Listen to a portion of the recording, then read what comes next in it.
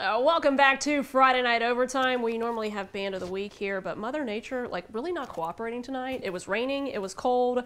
Rickards Raiders, we were going to highlight you, but maybe next week. Yeah, I think so. I, I can't really blame him myself. I was drenched when we got back to the Uh, station. my pants are still wet. Yeah, me too. So let's jump back across the state line in a big game for Thomas County Central. Region placement on the line for the Jackets. Central at Dougherty, a win, and they are the three seed in 4A Region 1 standings. Fourth down for Central here on the Wildcat. Tyler Floyd taking the snap, goes to the outside, works the edge, and it's enough for a first down. That play sets up this. Sam Brown handing it off to Floyd. He cuts up the middle and flies into the end zone. The Jackets are on the board first. Two point conversion is good. They would lead Dougherty 8 0, but uh, Dougherty comes back in the second half.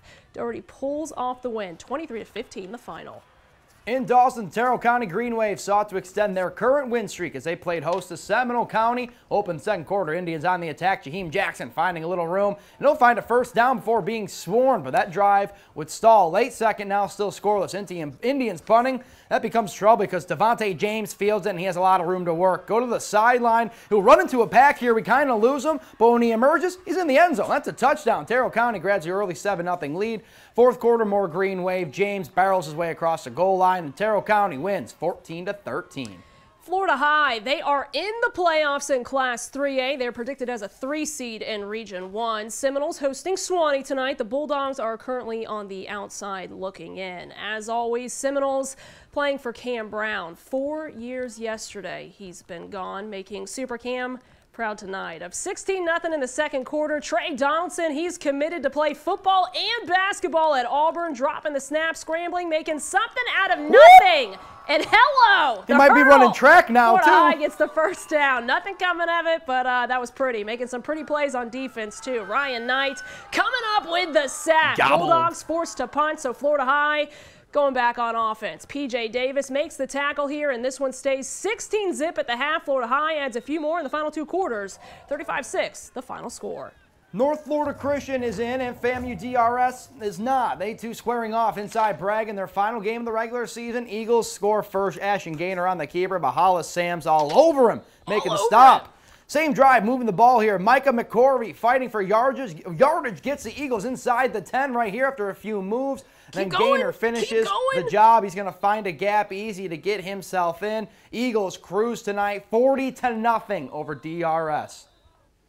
You talk about a must-win game, and for Chiles tonight against Wakulla was a must-win game. They're currently 10th in 6A standings for Region 1. They need some other things to happen, but they had to win to have a shot. Wakulla, on the other hand, they're in no matter what. They're district champions, so six minutes left in third quarter. Hayden Cleese hand off to Zamarian Smith, and he takes off like a rocket, making it look easy. No sign of slowing down. The extra point was good, 28 to 7 Eagles. Next drive for the Eagles, just as good. Xavier Blake rushes through the defense. He's going to put some more points up for his offense. What a night for the War Eagles. They'll win big, 42 to 7 over the Timberwolves. So Leon High School is out. St. John Paul II, they are in in Class 2A. The Panthers just looking to boost their resume a little bit tonight. Can't Early hurt. in this one, Lions receiving the kickoff, but they cough it up, and the Panthers take over right near their end zone, and they're going to take advantage of that. Tremaine Hughes Jr. dropping back, decides to keep it himself. He runs around the defense and runs it into the end zone for six points. Panthers going for two. Hughes Jr. hands it to Leon Washington, and they convert on that attempt. St. John Paul II, they come out on top. Big win over Leon, 21 to 8.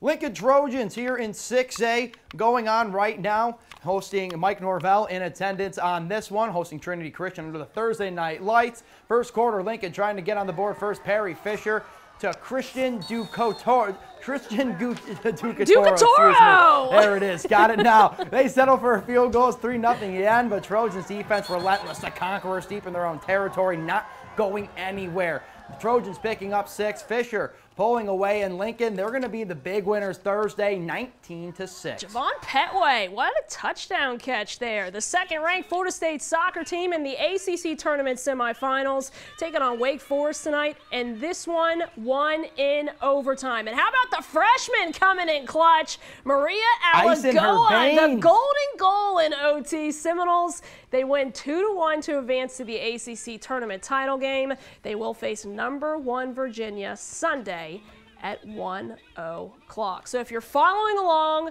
South Georgia, Big Bend, done with high school football. Some of the teams we talked about tonight, not going to see anymore for the rest of the year. Some of them we're going to be hoping to talk about for a long time, Dom. Yeah, I mean the great thing is, is there's there's teams that lost, but there's also going to be a ton of teams from our area that we're going to get to highlight right back here next Friday night. AP. Absolutely. So for Florida teams, the brackets come out on Sunday. So some of these teams on the cusp, we talked about Rickards being on the cusp there. They'll have to see if they make it into the postseason on Sunday night. So a lot more to talk about over the next week. We have you covered as the playoffs begin in South Georgia and here in the Big Bend next Friday night.